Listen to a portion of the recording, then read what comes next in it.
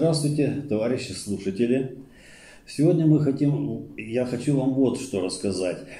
Э, в мае 1919 года, а точнее э, с 16 по 19 мая, в Москве состоялся первый всероссийский съезд по внешкольному образованию. Это, видите, э, очень важное, конечно, мероприятие несмотря на то, что уже гражданская война заполыхала в нашей стране. И вот заключительный день, 19 мая, Владимир Ильич Ленин на этом съезде выступил с речью, которую назвал, э, которая была названа «Речь об обмане народа лозунгами свободы и равенства». О чем говорил здесь в своей речи на этом съезде Владимир Ильич. Значит, э, хочу до вас довести до вашего сведения. Ну и вот э, выступая с речью, Владимир Ильич Ленин сказал, первый из намеченных мне, мною вопросов – это вопрос о трудностях всякой революции, всякого перехода к новому строю. Большевики шли на революцию против буржуазии, на насильственное неспровержение буржуазного правительства – на разрыв со всеми традиционными привычками, обещаниями, заветами буржуазной демократии, на самую отчаянную насильственную борьбу и войну ради подавления имущих классов. Шли из-за того, чтобы вырвать Россию, а затем и все человечество из империалистической бойни и чтобы положить конец всем войнам. Далее он сказал, несомненно, что попытки выйти из этой империалистической бойни, сломить господство буржуазии, что эти попытки навлекли на Россию поход всех цивилизованных государств.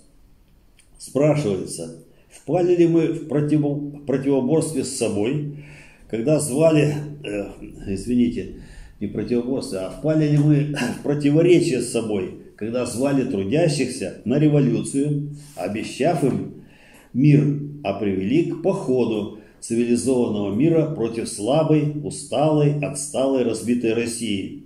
Или впали в противоречие с элементарными понятиями демократии и социализма те, кто имеет наглость бросать нам подобный упрек. И говорит на, это, на этот вопрос следующее. А разве кто-либо из большевиков отрицал когда-либо, что революция может в окончательной форме победить лишь тогда, когда она охватит все или, по крайней мере, некоторые из наиболее существенных передовых стран. Это мы говорили всегда. Разве мы утверждали, что выход из империалистической войны возможен простым втыканием штыков в землю?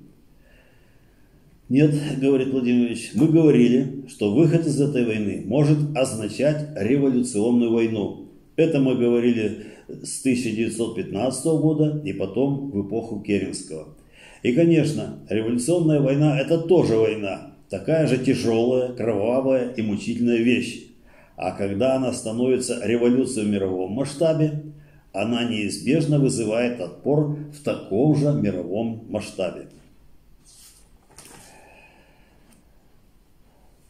Никогда мы не скрывали от народа, что мы на этот риск идем.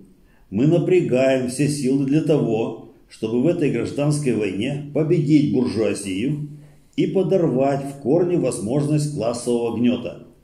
Нет, не бывало и не может быть революции, которая была бы гарантирована от борьбы долгой, тяжелой и может быть полной самых отчаянных жертв. Тот, кто не умеет отлич, отличить жертв, приносимых в ходе революционной борьбы ради ее победы, когда все имущие, все контрреволюционные классы борются против революции, тот, кто не умеет отличить эти жертвы от жертв грабительской, эксплуататорской войны, тот является представителем самой крайней темноты. То есть Владимир Ильич призывает отличать жертвы, которые приносятся в ходе империалистической войны, и жертвы, которые приносятся ради революции, ради освобождения трудящихся от гнета. И далее он говорит, вот, э, что э, является представителем самой крайней темноты, и он говорит, что такому человеку надо еще учиться элементарной политической грамоте. Но что можно сказать про человека, который обращается со словами революция, демократия, социализм, который претендует на то, чтобы эти слова употреблять, их понимая?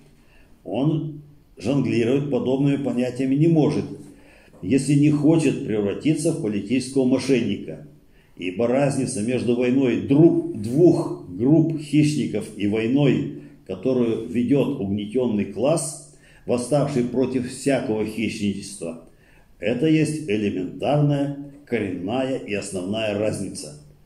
Дело не в том, что та или иная партия, тот или иной класс, то или иное правительство войну оправдывали, а дело в том, каково содержание этой войны, каково ее классовое содержание, какой класс ведет войну, какая политика воплощается в войне. То есть Владимир Ильич э, призывает отличать войну империалистическую от войны революционной классовой. Это вот что касается первого вопроса, э, который, он, который Владимир Ильич назвал, вопрос о э, трудностях всякой революции. Далее он говорит, я теперь перейду к следующему вопросу. Это вопрос об отношении к демократии вообще. Самым ходячим оправданием, самой ходячей защитой тех политических позиций, которые занимают демократы и социалисты против нас, является ссылка на демократию.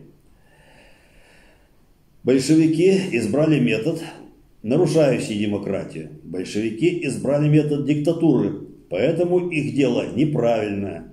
Так они говорят. Это он, Владимир Ильич привел слова, э, как демократы буржуазные э, критикуют большевиков. То есть как бы большевики раз вводят диктатуру пролетариата, то они против демократии. И по этому поводу Владимир Ильич говорит, мы этому нисколько не удивляемся, потому что мы хотим больше всего ясности и рассчитываем только на то, чтобы передовая часть трудящихся действительно ясно сознавала свое положение. Да, мы говорили и говорим все время в своей программе, в партийной программе, что мы себя в обман такими прекрасно звучащими лозунгами, как свобода, равенство и воля большинства, не дадим, и что мы к тем, кто называет себя демократами, сторонниками чистой демократии, сторонниками последовательной демократии, прямо или косвенно, противополагая ее диктатуре пролетариата, что мы относимся, э, что мы к ним относимся как к пособникам Колчака. Ну и вот э, э, как бы отмежевавшись от демократов по вопросам свободы, равенства, э, Владимир Ильич продолжает следующее. Разбираться начнем со свободы. Свобода, нечего говорить, для всякой революции, социалистической или, или демократической, это есть лозунг, который очень и очень существенен. А наша программа заявляет, свобода если она противоречит освобождению труда от гнета капитала, есть обман. Мы говорим всякому, кто в момент, когда дошло дело до свержения власти капитала во всем мире, или хотя бы в одной стране, кто в такой исторический момент, когда на первый план выступает борьба угнетенных трудящихся классов за полное свержение капитала, за полное уничтожение товарного производства – все, кто в такой политический момент обращается со словом «свобода вообще», то во имя этой свободы идет против диктатуры пролетариата, тот помогает эксплуататорам и ничего больше. Он их сторонник, потому что свобода, если она не подчиняется интересам освобождения труда от гнета капитала, есть обман, как это мы в своей партийной программе заявили прямо. И мы заявляем, что мы против капитализма вообще. Против капитализма республиканского, против капитализма демократического, против капитализма свободного. Конечно, мы знаем, что он против нас выдвинет знамя свободы. И мы ему отвечаем. Мы считали необходимым этот ответ дать в своей программе. Всякая свобода есть обман, если она противоречит интересам освобождения труда от гнета капитала. А что они называют свободой, продолжает Владимир Ильич? Эти цивилизованные французы, англичане, американцы, они называют свободой хотя бы свободу собраний. В Конституции должно быть написано «Свобода собраний всем гражданам». Вот это, говорят они, есть содержание, вот это есть основное проявление свободы. А вы, большевики, вы свободу собраний нарушили. Владимир Ильич отвечает, вы мелочь забыли, господа цивилизованные. Забыли, что ваша свобода написана в Конституции, которая узаконяет частную собственность. Вот в чем суть дела. Рядом со свободой собственность. Так и написано в вашей Конституции. Что вы признаете свободу собраний, это, конечно, громадный прогресс по сравнению с феодальным порядком, средневековьем, крепостным правом. Но ваша свобода такова, что это есть свобода на бумаге, а не на деле. Это значит, что если в больших городах бывают большие залы, вроде этой, то они принадлежат капиталистам и помещикам и называются, например, залами благородного собрания. Вы можете свободно собираться, граждане Российской Демократической Республики, но это частная собственность. Извините, пожалуйста, нужно уважать частную собственность. Иначе вы будете большевиками, преступниками, разбойниками, грабителями, озорниками. Свобода собраний, которая написана в Конституции всех буржуазных республик, есть обман, потому что, чтобы собираться в цивилизованной стране, которая все-таки зимы не уничтожила, погоду не переделала, нужно иметь помещение для собраний, а лучшее здание в частной собственности – Сначала отберем лучшее здание, а потом поговорим о свободе. Мы знаем, что для освобождения трудящихся от гнета капитала нужно отобрать свободу собраний у капиталистов, нужно их свободу отнять или урезать. Это служит освобождению труда от гнета капитала, это служит той настоящей свободе, когда не будет зданий, которые принадлежат кому-нибудь в отдельности, помещикам, капиталистам или какому-нибудь акционерному обществу.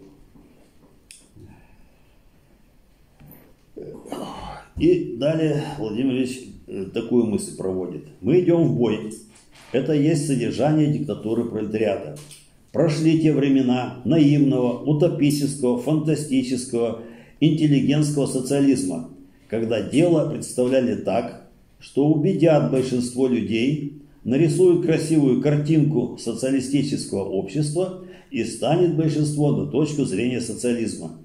Миновали те времена, когда этими детскими повасенками забавляли себя и других. Марксизм, который признает необходимость классовой борьбы, говорит, к социализму человечество придет не иначе, как через диктатуру пролетариата. Диктатура слово жестокое, тяжелое, кровавое, мучительное, и таких слов на ветер не бросают. Если с таким лозунгом выступили социалисты, то это потому, что они знают, что иначе, как в отчаянной беспощадной борьбе, класс эксплуататоров не сдастся, и что он будет всякими хорошими словами прикрывать свое господство. Именно после свержения буржуазии, продолжает Владимир Ильич, классовая борьба принимает самые резкие формы. И никуда не годятся те демократы и социалисты, которые обманывают себя, а потом обманывают и других, говоря, раз буржуазия свергнута, дело кончено. Оно только начато, а не кончено, потому что буржуазия до сих пор не верила той мысли, что она свергнута. И накануне Октябрьской революции шутила очень мило и очень забавно. Они шутили, ну, пожалуйста, господа большевики, составьте кабинет, сами возьмите власть на парочку недель, вы прекрасно нам поможете. Они шутили, потому что не брали дело всерьез. А теперь увидели, что дело пошло всерьез, и господа английские, французские и швейцарские буржуа, которые думали, что их демократические республики – это броня, которая их защищает, они увидели и осознали, что дело пошло серьезно, и теперь они вооружаются всем. Теперь борьба приняла мировой размах. Поэтому теперь всякий, кто со словами «демократия», «свобода» выступает против нас, становится на сторону имущих классов, обманывает народ, ибо он не понимает, что свобода и демократия до сих пор были свободой и демократией для имущих и лишь крохами со стола для неимущих. А если, э, э, извините, далее Владимир Ильич говорит, что, так, что такое свобода собраний, когда трудящиеся задавлены рабством капитала и работой на капитал. Это есть обман. И для того, чтобы идти к свободе для трудящихся, надо сначала победить сопротивление эксплуататоров. Вот что хотел сказать Владимир Ильич о свободе. И далее он говорит, теперь от свободы я перейду к равенству.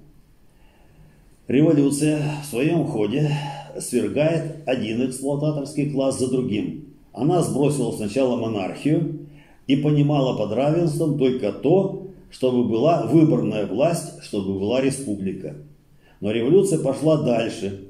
Она говорит, что равенство есть обман, если оно противоречит освобождению труда от гнета капитала.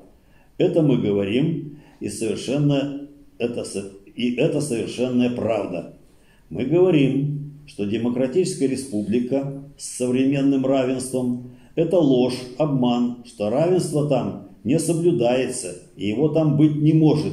И то, что мешает пользоваться этим равенством, это есть собственность на средства производства, на деньги, на капитал. И далее он переходит к мысли, как деньги играют, какую, какую роль играют деньги э, при капитализме. Он говорит, деньги ведь это сгусток общественного богатства, сгусток общественного труда. Деньги – это свидетельство на получение дани со всех трудящихся. Деньги – это остаток вчерашней эксплуатации. Вот что такое деньги. Можно ли как-то сразу их уничтожить? Нет, отвечает Владимир Ильич. Еще до социалистической революции социалисты писали, что деньги отменить сразу нельзя – и мы своим опытом можем это подтвердить. Нужно очень много технических, и что гораздо труднее и гораздо важнее, организационных завоеваний, чтобы уничтожить деньги. А до тех пор приходится оставаться при равенстве на словах, Конституции и при том положении, когда каждый имеющий деньги имеет фактическое право на эксплуатацию. И мы не могли отменить денег сразу. Мы говорим, пока деньги остаются и довольно долго останутся в течение переходного времени от старого капиталистического общества к новому социалистическому. Равенство есть обман, если оно противоречит интересам освобождения труда от гнета капитала. Основатели современного научного социализма Маркс и Энгельс говорили, Равенство есть пустая фраза, если под равенством не понимать уничтожение классов. Классы мы хотим уничтожить. В этом отношении мы стоим за равенство. И вот мы говорим, мы ставим себе целью равенство как уничтожение классов. Тогда надо уничтожить и классовую разницу между рабочими и крестьянами. Это именно и составляет нашу цель. Общество, котором осталась классовая разница между рабочим и крестьянином, не есть ни коммунистическое, ни социалистическое общество. Конечно, при толковании слова «социализм» в известном смысле можно назвать его социалистическим, но это будет казуистика, спор о словах. Социализм, говорит Ленин, это есть первая стадия коммунизма, но спорить о словах не стоит. Ясно одно – что пока остается классовая разница между рабочим и крестьянином, мы не можем говорить о равенстве, не остерегаясь того, чтобы не попасть, как вода на мельницу буржуазии. Крестьяне – это есть класс патриархальной эпохи, класс, воспитанный десятилетиями и столетиями рабства. И в течение всех этих десятилетий крестьянин существовал как мелкий хозяин, Сначала подчиненный другим классам, потом формально свободный и равный, но собственник и владелец предметов питания. Положение крестьянина таково, по его быту, условиям производства, условиям его жизни, условиям его хозяйства, что крестьянин полутрудящийся и полуспекулянт. Это факт. Из этого факта вы не выскочите, пока не уничтожите деньги, не уничтожите обмен. А для того, чтобы это сделать, нужны годы и годы устойчивого господства пролетариата. Потому что только пролетариат способен победить буржуазию.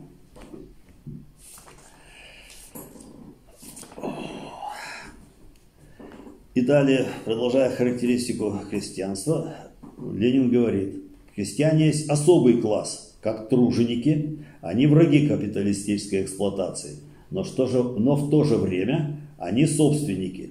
Крестьянин столетиями воспитывался на том, что хлеб его и что он волен его продавать. Это мое право, думает крестьянин, ибо это мой труд, мой, мои пот и кровь. Переделать его психологию быстро нельзя. Это долгий и трудный процесс борьбы. Вся политическая экономия, если кто-либо чему-нибудь из нее научился, вся история революции, вся история политического развития в течение всего XIX века учит нас, говорит Ленин, что крестьянин идет либо за рабочим, либо за, за буржуа. Он не может идти иначе. Почему, спрашивает Ленин, и отвечает, Экономика капиталистического общества такова, что господствующей силой может быть только капитал или свергающий его пролетариат. Иных сил нет в экономике этого общества. Крестьянин является полутружеником, полуспекулянтом. Крестьянин труженик, потому что потом и кровью добывает свой хлеб. Его эксплуатируют помещики, капиталисты, купцы. Крестьянин спекулянт, потому что продает хлеб предмет необходимости, предмет, который, если его нет, стоит того, чтобы отдать за него все имущество. Крестьянин в этом не виноват, но его экономические условия таковы, что он живет в товарном хозяйстве, жил десятки и сотни лет, привык обменивать свой хлеб на деньги, привычку не переделаешь, деньги уничтожить сразу нельзя. И вот, заключая свою мысль о равенстве, э, Ленин говорит, крестьянин своим экономическим положением в буржуазном обществе неизбежно поставлен так, что он либо идет за рабочим, либо за буржуазией. Середины нет. Ну и далее Владимир Ильич свою речь продолжает так. Я остановлюсь теперь на последнем вопросе, на вопросе о поражении и победе революции. Гражданская война более серьезная и жестокая, чем всякая другая, говорит Ленин. Так всегда бывало в истории, начиная с гражданских войн Древнего Рима, потому что войны международные всегда кончались сделками между имущими классами. И только в гражданской войне угнетенный класс направляет усилия к тому, чтобы уничтожить угнетающий класс до конца, уничтожить экономические условия существования этого класса. Не бывало, нет, не будет и не может быть таких революций, которые не рисковали бы поражением, говорит Ленин. Революцией называется отчаянная борьба классов, дошедшая до наибольшего ожесточения. Классовая борьба неизбежна. Либо нужно отказаться от революции вообще, либо нужно признать, что борьба с имущими классами будет самой ожесточенной из всех революций. Ибо революция побеждает, если она двигает вперед передовой класс, наносящий серьезные удары эксплуатации. Революция при этом условии побеждает даже тогда, когда она терпит поражение.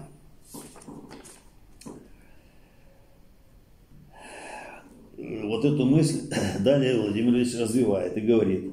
Мы говорим, что если бы даже, беря возможный, гипотетически худший из возможных случаев, если бы завтра какой-нибудь счастливый колчак перебил поголовно всех и каждого большевика, революция осталась бы непобедимой. Ну почему он приводит пример Колчака? Потому что как раз э, шла в этот период, в мае, острая очень борьба, и Колчак наступал практически. Э, очень близко к катастрофе происходили события э, революционные.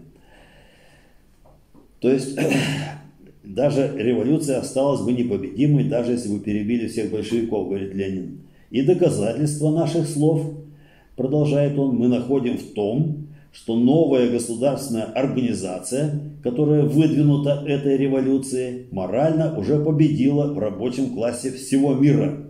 Уже сейчас пользуется поддержкой его.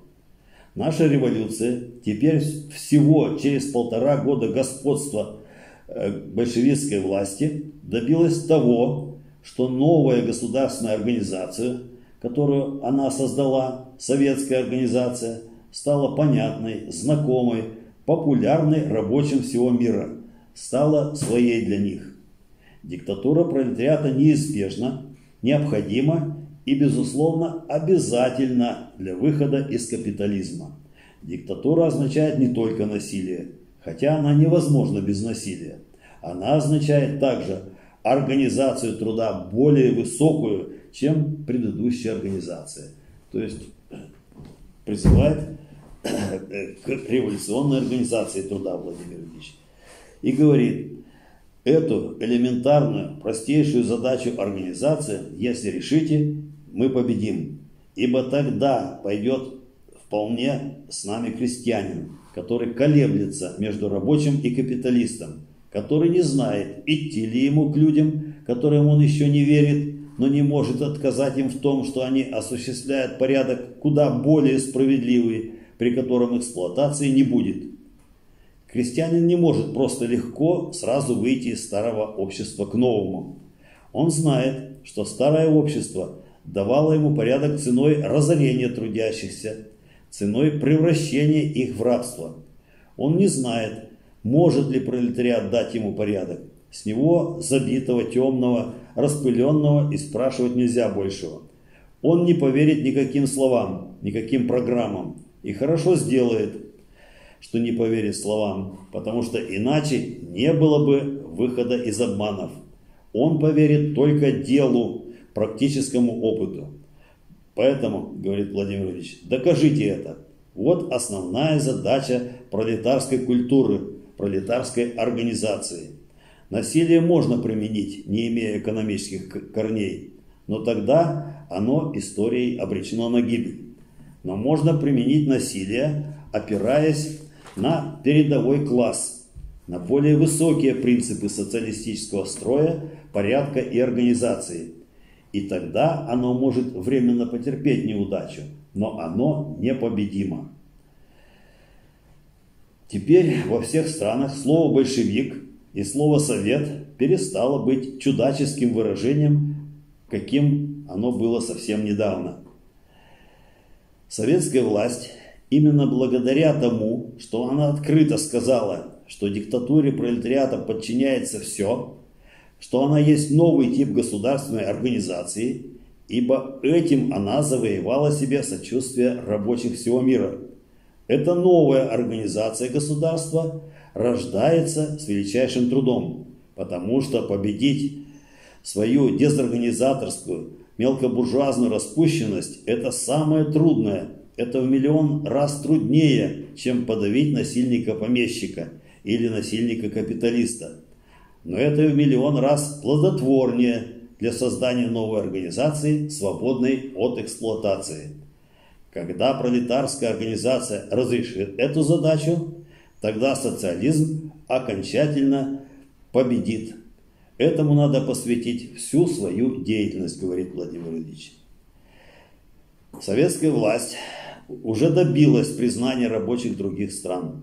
Слово «диктатура пролетариата» – слово латинское, и всякий трудящийся человек, который его слышал, не понимал, что это такое, не, по, не понимал, как это осуществляется в жизни. Теперь это слово переведено с латинского на народные современные языки – Теперь мы показали, что диктатура пролетариата есть советская власть. Та власть, когда организуются рабочие сами и говорят, Наша организация выше всего. Ни один нетрудящийся, ни один эксплуататор не имеет права участвовать в этой организации. Эта организация вся направлена к одной цели – к неспровержению капитализма. Никакими фальшивыми лозунгами, никакими фетишами, вроде свобода, равенство, нас не обманешь. Мы не признаем ни свободы, ни равенства, ни трудовой демократии, если они противоречат интересам освобождения труда от гнета капитала. Это мы внесли в Советскую Конституцию и, при, и привлекли к ней уже симпатии рабочих всего мира. Они знают, что как бы трудно ни рождался новый порядок, какие бы тяжелые испытания и даже поражения не пали на долю отдельных советских республик, никакая сила в мире назад человечество не вернет. Вот этой мыслью Владимир Ильич и закончил свою речь, свое выступление на съезде. Ну вот, пожалуйста, то, что я хотел довести до вашего сведения. Конечно, очень серьезные вопросы поднял здесь Владимир Ильич. Вот, и о том, что даже временно может э, проиграть революция социалистическая, но она все-таки непобедима, и что будущее именно за обществом без эксплуататоров, к которому можно прийти только через диктатуру пролетариата. Так, как э, сказано в учении Маркса Энгельса. Ну и, конечно же, в программе РКПБ, э, на которую ссылался здесь и, в Советской, и в Советской Конституции, на которую ссылался в своей речи Владимир Ильич Ленин. Вот то, что я хотел довести до вашего сведения. Пожалуйста, что-то есть, вопросы есть, надо что-то уточнить, давайте. Наверное, есть комментарий, хотя эта работа написана была к текущей ситуации, тогда 2014 года, но в ней э, лежит достаточно глубоко э, философский фундамент, да. и, собственно, она актуальна до сих пор. Да, особенно по... Первое, да, наверное, что самое главное, что человечество, да и не только человечество, вообще все живые существа э, в ходе естественного отбора все время ведут борьбу за выживание. Да. То есть борьба за существование шла и у динозавров, и у млекопитающих, и у людей. Естественно, человек, став разумным, захотел э, избавиться от борьбы и перейти вместо борьбы, заниматься там творчеством, ну, э, созиданием и тому подобными вещами.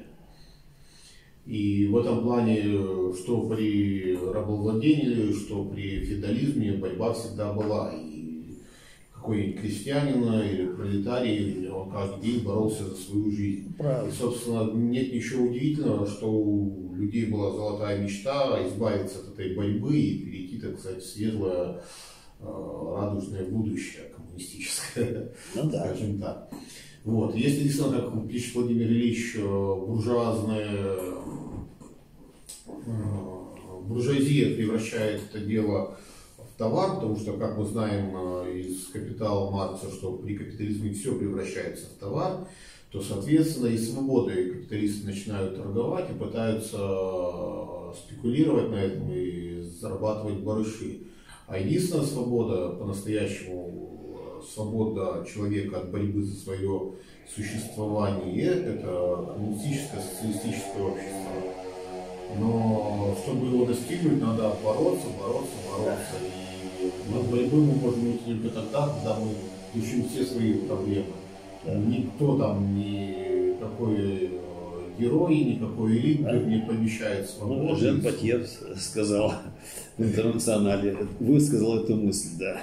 Да. Никто не даст нам избавления, ни царь, ни бог, ни герой. Ни герой, да, не даст нам избавления, и как бы он не обещал свободу, чтобы э, получить настоящую свободу, надо преодолеть спекуляцию, надо товарность, денежные отношения преодолеть и все остальное. Только тогда, действительно, когда будут все здания свободны, когда... Ликвидировать деление на классы общества. Вот. Да, да. Когда как только будет эта задача решена, говорит Ленин, тогда и можно говорить о свободе и равенстве. То есть философская эта мысль в чем? Что человечество пришло к пониманию о том, что надо быть действительно свободным. Да, осталось а... только реализовать. Да, осталось только реализовать. Реализовать это может только путем длительной борьбы, тяжелой. Да. И без борьбы ничего не выйдет. И в этом да. плане Владимир Ильич Путин постоянно возвращается к этой мысли, что даже совершив революцию, борьба не остановится. Да, она будет продолжаться. Продолжаться и продолжаться и продолжаться до тех пор, пока не наступит полная свобода. Да. А социалистическая революция это еще не свобода. Да. Это только первый шаг да, Это проходит через э, большинство его работ. Через, даже вот те, которые мы вот изучали в течение года, практически в каждой из них такая мысль проходит, что только через диктатуру пролетариата возможно свободное общество без эксплуатации. Через борьбу обязательно. Да, через борьбу, через диктатуру, как же, да, да, да, через борьбу против эксплуататоров, против капитала.